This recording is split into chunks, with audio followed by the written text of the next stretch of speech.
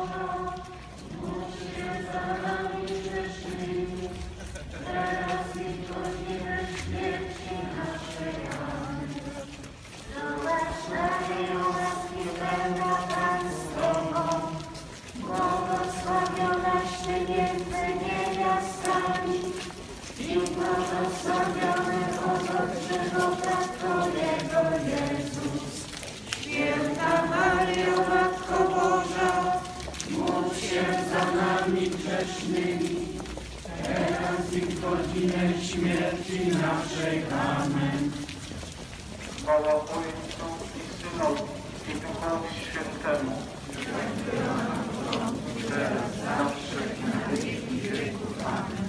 O mój Jezu, przebacz nam nasze grzechy, zachowaj nas od zaprowadź wszystkie dusze do nieba i do Thank you.